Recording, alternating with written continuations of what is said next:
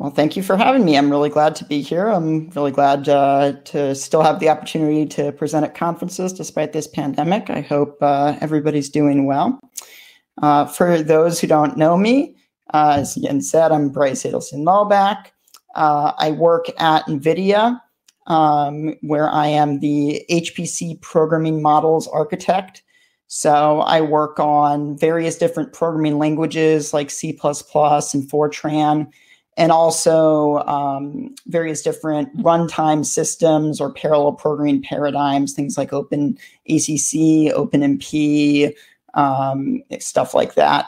Um, and the one that I've been particularly heavily involved in, heavily involved in, is uh, uh, parallelism in standard C++. I am the chair of the C++ committee's uh, library evolution uh, group, which is responsible for the uh, design of the C++ standard library. And I'm also the chair of the US uh, Standards Committee for Programming Languages. So today I'm going to talk about uh, a project my team's been working on for a couple years now called the uh, CUDA C++ Standard Library or libcu++. Um, but before we talk about that project, um, let me first go over what CUDA C++ is. Um, some people who are watching this may not be familiar. But don't worry, even if you've never used CUDA C++ or you don't particularly care to, I think this will still be an interesting talk to you. So um, one of my colleagues wrote this uh, a great quote, which I think really captures the, the essence of what CUDA C++ is.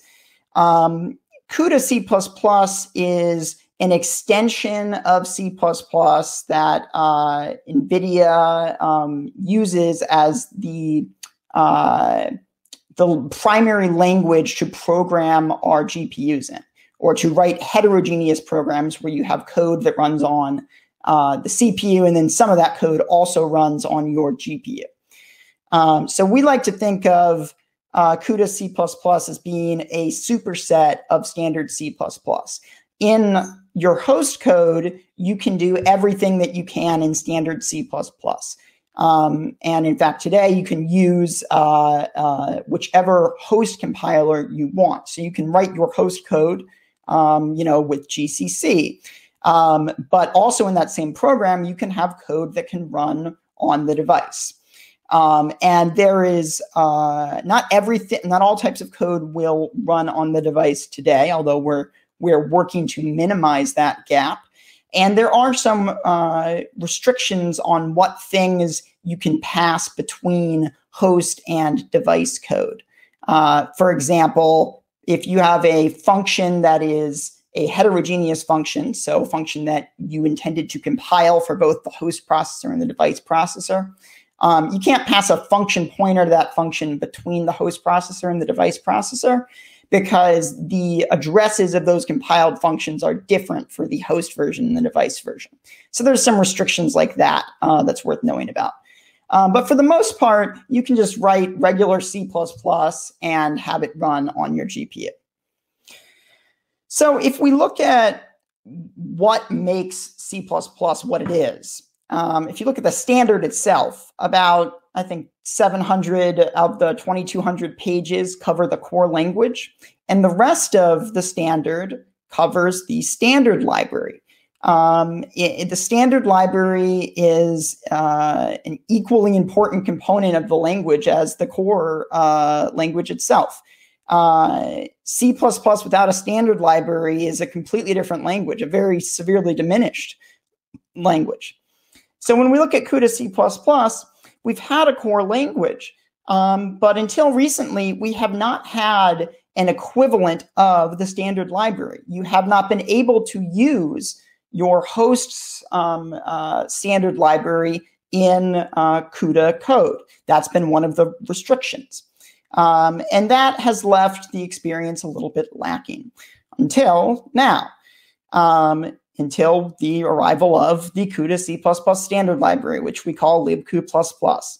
Um, it is an open source project. It's uh, a fork of, well, um, it's a derivative of, I don't say, uh, fork suggests that perhaps it diverges from upstream, but it, it doesn't. Um, it's a fork of uh, libq++, of libc++, the LLVM uh, standard library. Um, and it has three sort of key properties that I want to talk about, which is that it's opt-in, it's heterogeneous, and it's incremental. So it's opt-in, which means that it does not interfere with or replace your host standard library when you use it with NVCC, our um, uh, primary compiler. So uh, if you include, you know, some header like uh, type traits and you use stuff in std colon colon, that's the stuff that you that's from your host standard library, um, and it's strictly conforming to standard C++. Um, but you can only use those facilities in host code.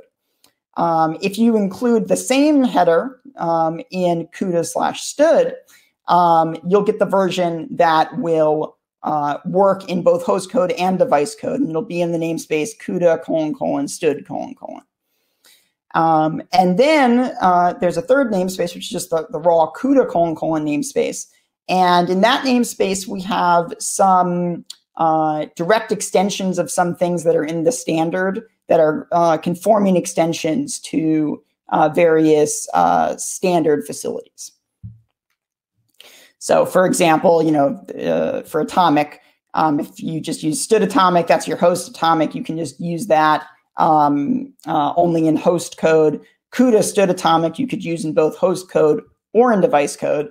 And then CUDA atomic itself is a uh, extended form that has this additional template parameter, but otherwise operates just like a CUDA atomic. And we have a few other extensions of the sort of a similar nature to that.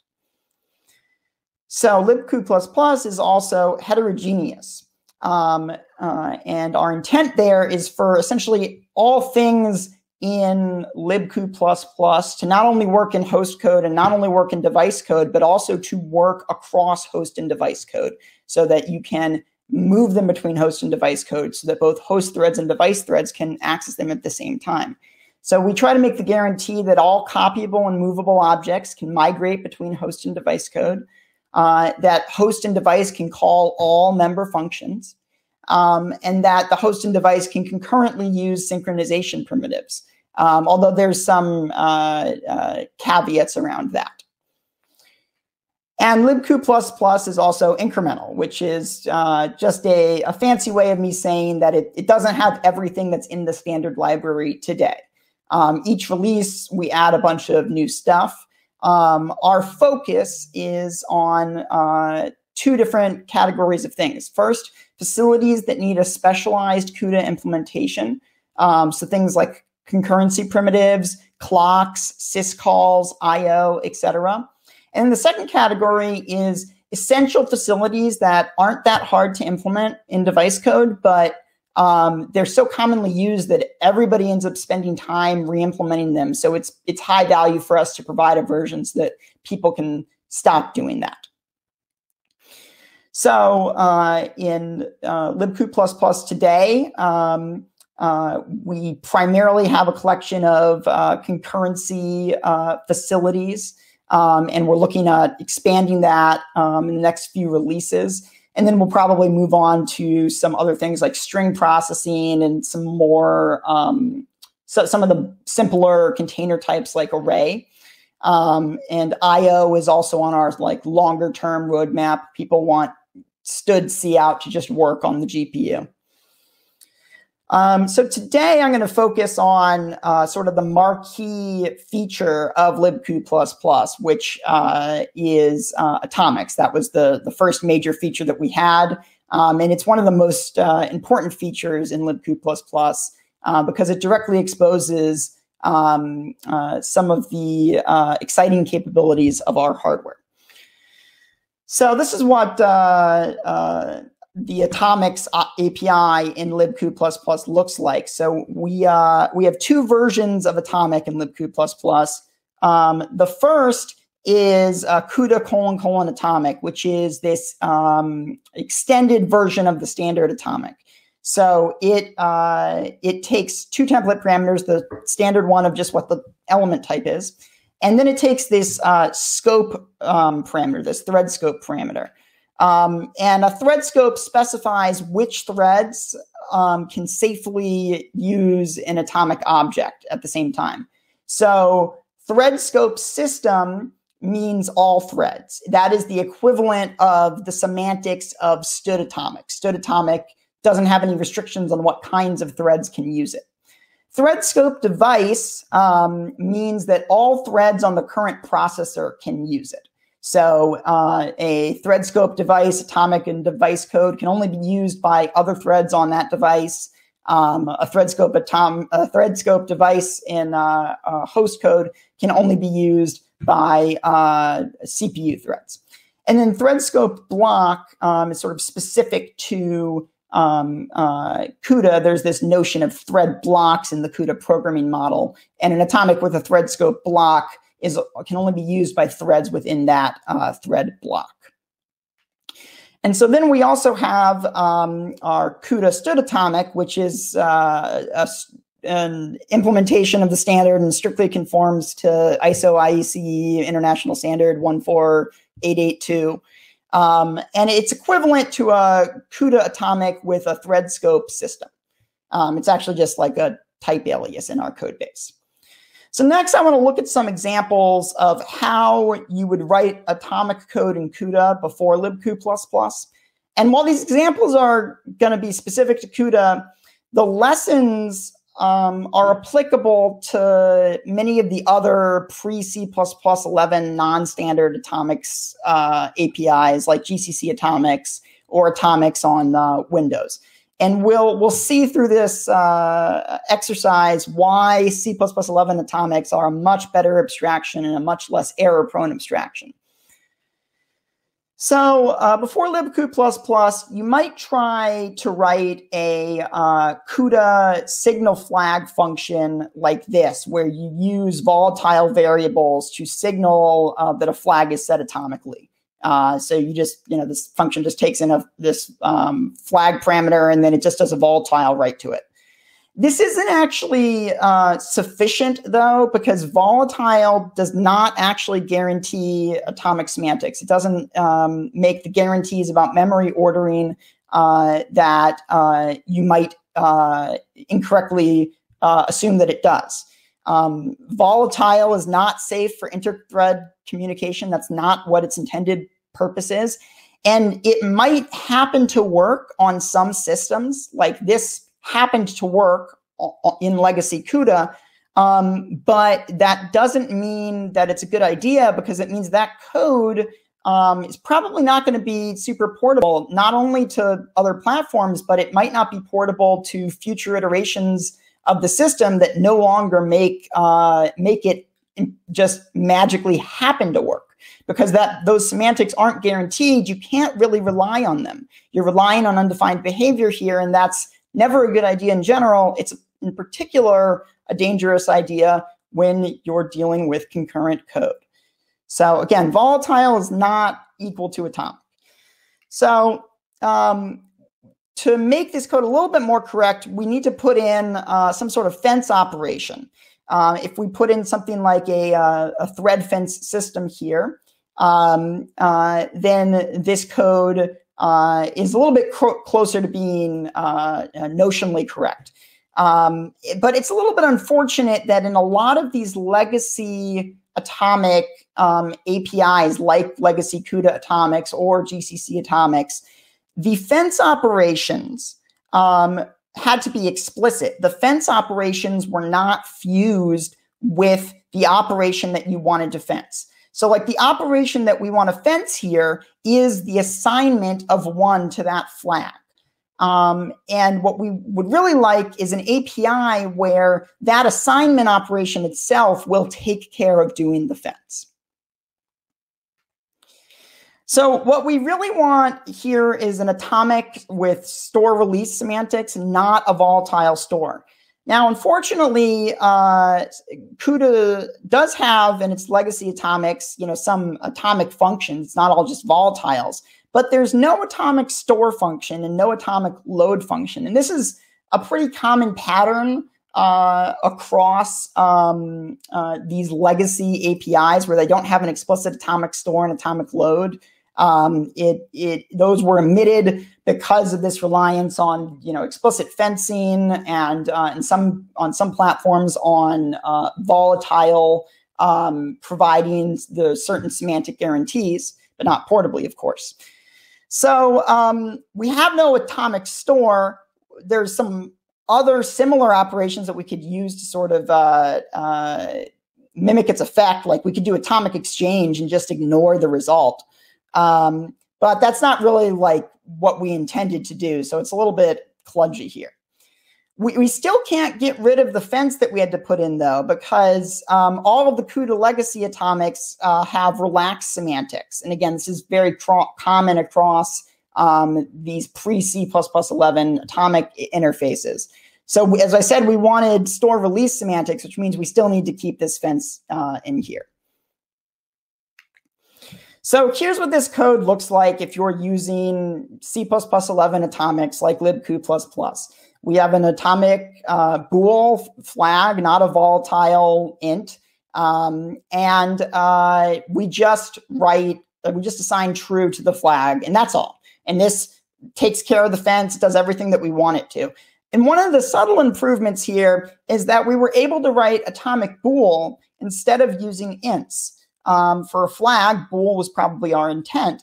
The reason you often see a lot of um, uh, ints used instead of a more appropriate type in uh, older pre C++ 11 atomic interfaces is that a lot of those interfaces only supported one or two sizes. Typically, they'd support, you know, 32-bit operations and 64-bit operations. Um, now, uh, your platform might not natively have one byte atomic operations, but atomic bool will still work, which is nice. So on the previous slide, we just assigned true to the atomic, um, and that works, but that will use the strongest memory ordering in the C++ model, which is sequential consistency. And that's actually a bit stronger than what we need. Now, it's a good default, and it is the default for all of the overloaded operators, like the assignment operator. Um, uh, but here, if we want to be a little bit more efficient, um, we might want to, instead of using the assignment operator, call the store member function, which takes a um, memory order parameter. And we can just say, hey, I want to do this store with memory order release semantics. Now, there's an even better form that we can write uh, with C++20's new atomic wait and notify API. Um, uh, this is available in libcu++, and we've backported it um, to uh, C++11. Uh, and we also contributed the patch upstream to libc++ um, for this facility. So after we do our uh, store release uh, to the flag, um, we'll call this um, notify all API on the flag to wake up anybody that was waiting for the value of the atomic to change. And when we look at the consumption side, we'll see um, where this comes into, uh, uh, where this factors in. All right, so now let's look at the consumer side of this example. So a function that polls on a flag and then reads some int data um, that the producer wrote uh, before it's signaled. So we have the same issues with this uh, example uh, that we had with volatile in the previous example, that it it it does not actually give us um, atomic semantics. It might happen to work on some platforms, but it's not portable and and it's all just undefined behavior. So in the code here, we've just got a a while loop where we're just polling until that flag is no is uh, uh, equal to one, and then we just exit out of the loop, and then we uh, uh read the data. Um, and uh, that loop is a little bit um, suboptimal because it's really just a naive spin loop. Under contention, it's going to perform pretty badly. You know, imagine if you have tens or hundreds or thousands of, of threads, all of which are every cycle trying to um, read this one flag, uh, waiting for it to be set from zero to one. Um, well, they're all going to be um, pounding uh, the cache and memory uh, trying to access that one location. Uh, and and the read that we're doing here is a volatile read, so it's a it's a fairly expensive read. We don't want or need to read the data um, either atomically or volatile with volatile loads. Um, the read of the flag should ensure that we can safely and non-atomically read the data because reading the flag should establish a memory ordering that once we read that flag, um, we we we should have established a uh, release acquire memory ordering where we know, hey, because we've seen this flag write, we know that any writes that happened before the flag was written are now visible to us. So on the on the producer side, the producer would first write to data and then after it's written to data, it would write to the flag with those store release semantics. And it would have the guarantee that any thread that sees the flag has been set to one will also see the write of the data. So there's no need for us to actually read the data as volatile. But if we just remove the volatile read, um, we're going to have a bug in the code because um, this uh, uh, volatile read of the flag that we have doesn't give us that memory ordering because again volatile does not uh, give us uh, atomic semantics so we haven't established the memory ordering on this side of the operation yet so we could do that in legacy apis by explicitly adding a fence but very often um, you'll end up forgetting to do that again it would be very nice if that fence operation which we need uh, for correctness was fused onto the read operation, the operation where we read the flag in the while loop. So instead of doing a volatile load of the flag, what we should really be doing is an atomic load acquire. Uh, the CUDA legacy atomics API doesn't have an atomic load, just like it didn't have an atomic store. Um, but there's like a little hack that you can do, which is you could use an atomic add where you add zero. Um, but like that's a little bit un- unpleasant and it just makes for terrible code clarity. Um, now, even if we switch to the, this atomics API and get rid of the volatile, we still need um, the fence here. And the reason that we still need that fence is because all of the legacy atomic uh, functions in CUDA, like atomic add, they they just give you a relaxed memory ordering, the weakest memory ordering. And what we need here is an acquire ordering. We need that promise that once we read that flag as one, that we know that the data write that happened from the producer that, that will actually see it. So with uh, C++ 11 atomics, this code becomes much cleaner and more correct. Um, we changed that flag from being an int to be an atomic bool. Um, and uh, uh, that makes this very nice and clean. We've still, however, got this uh, spin loop uh, that's going to be bad under contention. And that's where this new C++ 20 wait notify API comes in. Um, ah, but first, uh, we don't actually need the sequential consistency here um, a load acquire is sufficient and it's going to be more performant. Now, in, in that previous slide, uh, we were just relying on a, a, the atomic's implicit conversion to T, which loads the value using sequential consistency uh, semantics. Now, if we want to specify um, uh, weaker semantics, we need to use the load API and say we want to load with memory order acquire. All right, so now let's deal with that spin loop. So instead of using this spin loop, we can use this new C++20 wait notify API. Um, and what this wait API does is it says, hey, I would like to wait until the this value changes from what it what I believe it currently is to something else. So it wait says, I tell me like exit this wait once this value is no longer equal to the value I've just given you. In this case, false. So this wait false memory order acquire says, I want you to read this thing with memory order acquire semantics. And when it's no longer false, I want you to return.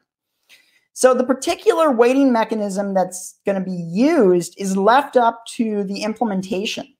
Um, on a CPU, you might use an operating system primitive for efficient waiting, um, such as a futex, which is not just going to be in a spin loop um, constantly uh, uh, hitting that variable. It's going to use this um, more clever and efficient uh, and fair operating system mechanism that will scale well under contention.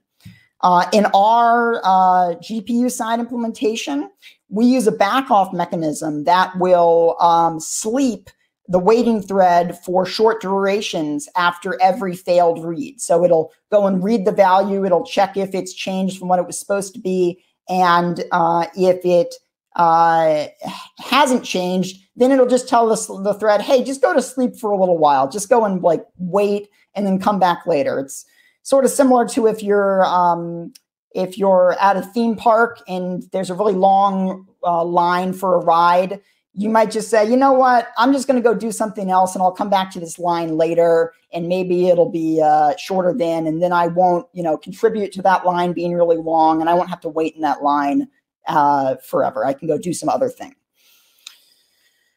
So C++ atomics also give you a greater deal of type safety than you'd get with um, older atomic APIs uh, that did not uh, uh, denote atomicity in the type system. Uh, for example, if you mix the thread scopes of your atomics, libcu++ will catch that at compile time and will give you an error. So if you try to call a function that expects an atomic with a thread scope uh, system, you try to call that with an atomic that has a uh, thread scope device, that will give you a compile error. Whereas in uh, the legacy CUDA atomics, um, uh, there is no such type information. Uh, and so that bug would just be a silent uh, uh, possible data race at runtime. The legacy CUDA atomics also um, made it somewhat challenging to write code that was not just device code, but but also host code that was truly heterogeneous code that could run everywhere because all of the legacy CUDA atomics only work in device code. Um, so you'd have to go and write your function one way using the CUDA legacy atomics, and then you have to write it another way um, uh, for you know your host platform. Um, whereas with libcu++, um, all of the atomics work in both host and device code. So you can just write your code in one way. So the moral of the story here is uh, you should stop using legacy CUDA atomics and you should stop using any uh, legacy atomic API, any atomic API that's not C++ 11 atomics um, or, or, C um, 11 atomics.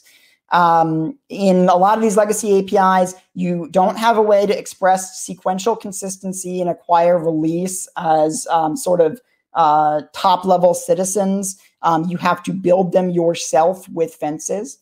Um, uh, the legacy CUDA atomics, mentioned, they're device only. Um, the memory scope is a property of operations, not objects, which gives you um, a lot of potential for um, uh, errors.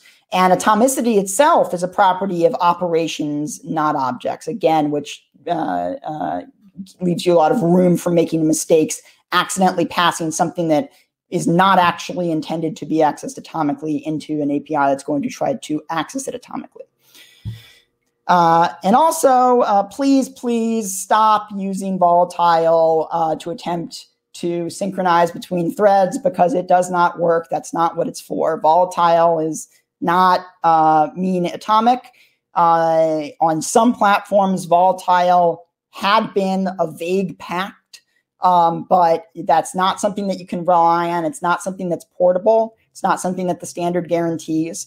You should instead use uh, C++ atomics, which have clear semantics. Okay, so now I want to talk about why all of this matters. Um, you know, we our team spent a lot of work um, exposing uh, C++ uh, atomics. Um, and when I say our team here, I don't just mean our software team. I mean our hardware team uh, spent a lot of effort on this too.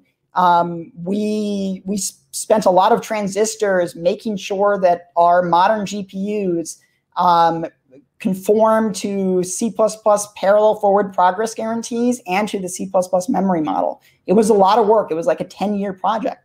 So why did we do this? Why is that this so important? Why does it matter? Well, when you have these two things, when you have C++ parallel forward progress guarantees and a conforming implementation of the C++ memory model, um, that enables you to write a much wider range of concurrent algorithms and data structures um, on GPUs, um, particularly blocking uh, algorithms. Um, so this is sort of a, a taxonomy of the different uh, types of concurrent algorithms. And you don't have to necessarily understand all the terms that are on this chart. The key thing to understand is this.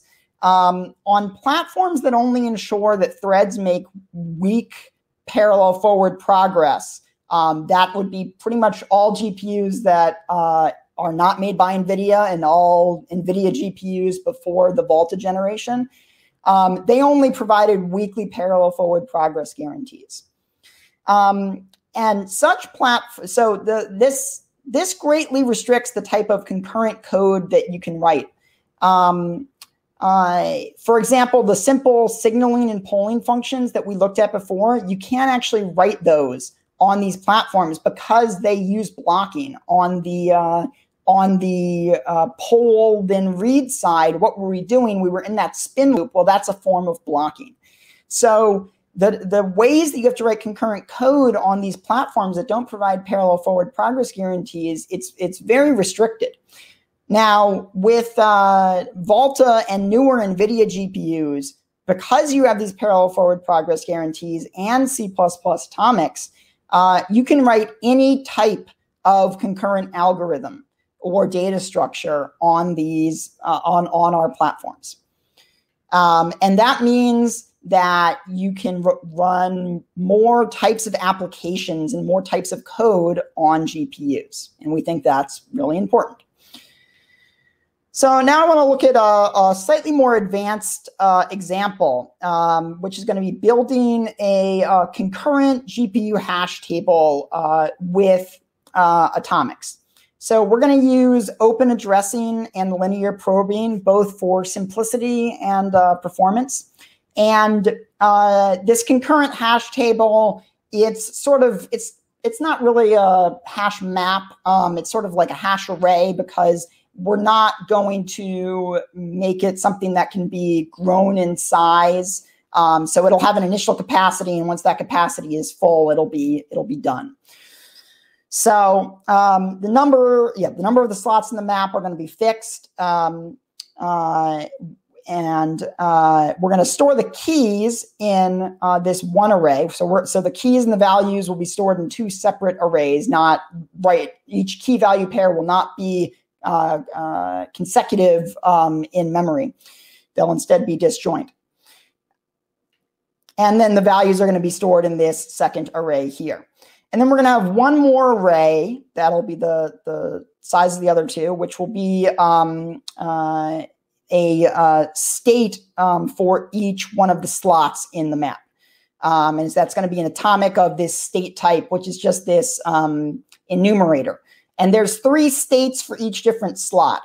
Um, uh, the, the states are going to be, it'll go from empty to reserved and then to filled. No other transitions are allowed. So we're only going to support uh, insertion into this data structure. We're not going to um, uh, deal with uh, removal of elements. So once something's been inserted, there's no way to um, take it out. Um, we have a, uh, some function objects for uh, hashing the keys and then uh, comparing the keys for equality. And uh, that's it. And then we've got this uh, try insert um, uh, function, which does the actual concurrent insertion. So um, let's look at a little diagram of how this is going to work. So we're going to start up here at the at the top at try to set slot to reserve. So that's the first thing we're going to do when we're trying to, in, to insert is we're going to go and find the slot that we want to, uh, that's, that's the candidate for this insertion um, using uh, linear probing. And then we'll try to set that slot to reserved. Now, if uh, we succeed in setting the slot to reserved, that means that we are going to be the one that's going to get to set this slot. We've claimed this slot. Essentially, we've sort of locked this slot. So then the next thing we'll do is we will uh, fill the slot with the key and value that we need to insert. And then once that's done, we will set the slot to filled. And setting the slot to filled tells everybody else, hey, this slot can now be read. And then uh, the insertion has uh, succeeded. Now, um, suppose that uh, we are trying to set the slot to reserved and we find that the slot um, is already reserved. Um, okay, well, so now what we need to do is we need to wait until the slot becomes uh, filled. Um, and we'll see why in a minute. So now let's go to the case um, of we tried to set the slot to reserved and the slot uh, was, was filled. So if the slot was filled, now we need to check to see if the key in the slot is equal to our key. It's possible that it's not. It's possible that this was just like a hash collision. Um, but it might have been that this element was already inserted in, into the table. So if they are equal, then the insertion failed and we just return and say, hey, this, this key's already been inserted. If they're not equal, um, then we're going to go and find the next candidate slot, again, using linear probing, and then we'll repeat the whole process um, uh, again until we eventually either succeed or fail. All right, so now let's walk through the code of how we do this. So the first thing that we do um, in try insert is uh, we compute the first slot that we should attempt to put the specified key in. And we do this by hashing the key and moduloing the result with the capacity of the map. So next, we're going to enter this loop where we iteratively try to insert the key into the slot.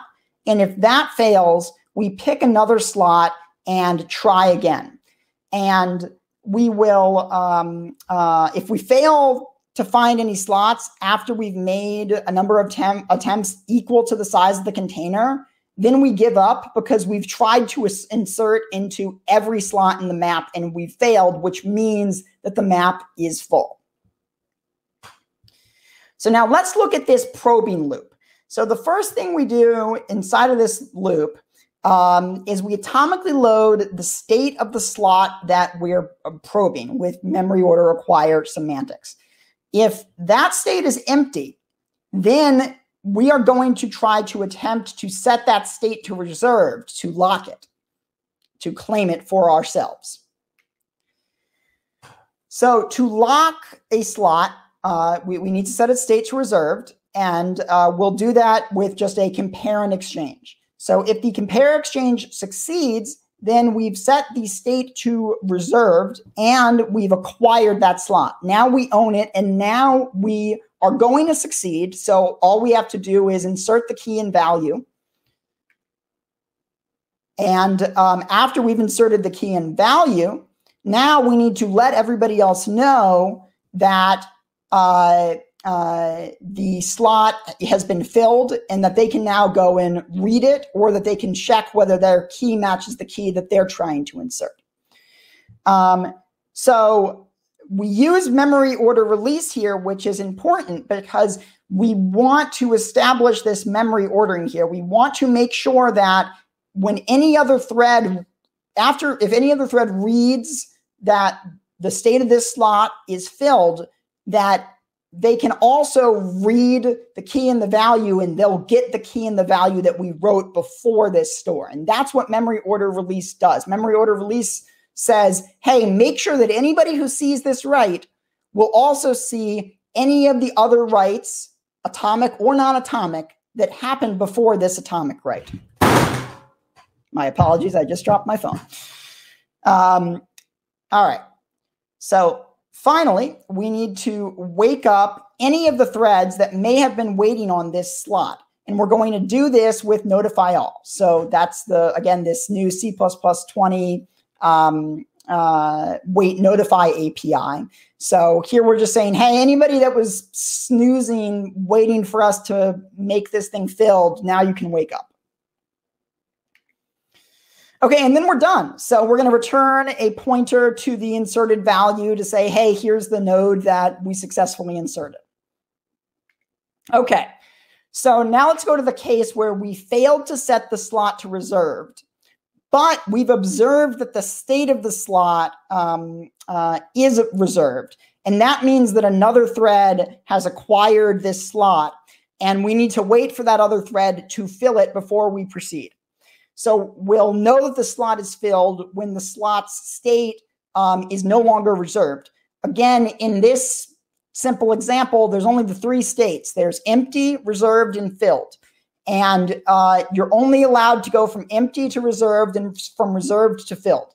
So if we just wait um, until, like, if we see that it's reserved, we know that it's never going to go back to being empty. We can just wait until it's no longer reserved um, and then we'll know that it has become filled. So we could do this with just this, you know, simple naive spin loop here. But again, we want to avoid those types of spin loops because they're not particularly efficient. So instead, we can use a wait here. And, and what this wait says essentially is wait until this atomic is no longer equal to this value. And we know because of the invariance of this data structure that when the state of this is no longer equal to reserved, that it will then be filled. Okay, so now after that wait, we know that the slot has been filled by another thread. Um, and so now we need to check whether the key that was filled is the same as our key. It's possible again that it's not, in which case it's a collision and we just move on to the next candidate slot. If it is the same key, then the insertion failed and we just return the value that the other thread inserted. So, so if the key wasn't equal, then we need to move on to the next slot and try all of this again. And so we just, uh, in, because we're doing linear probing, we just say, okay, we're just going to try the next index um, modulo the capacity. And that's it. This is a um, pretty efficient uh, GPU implementation of con concurrent insertion into a ha hash map. Um, I, I, don't need to show you the algorithm for lookup. It uses the same basic principles here. Um, and there's a couple different variations of this type of data structure. Um, there's different things that you need to do if you want to be able to support removals. Um, but uh, this is something that'll scale to um, tens or hundreds of thousands of threads on uh, your GPU, and it fits nicely on one slide. So uh, the sort of the moral of the story here is that there's this whole new world of algorithms and data structures uh, that uh, can be accelerated on modern NVIDIA GPUs because now we have um, uh, C++ parallel forward progress guarantees and uh, uh, C++ atomics, which lets us write any class of concurrent algorithm, including blocking algorithms. So it greatly expands the type of uh, uh, code that you can write on GPUs. Okay, so that's um, that's pretty much it. Um, so as I mentioned before, libcu++ um, is an open source project. You can go find it on GitHub. It's also included um, in the CUDA toolkit. Um, it's been there since uh, 10.2. Um, and we're constantly uh, working on adding new uh, features. We just put out a release a few weeks ago. so be sure to check it out.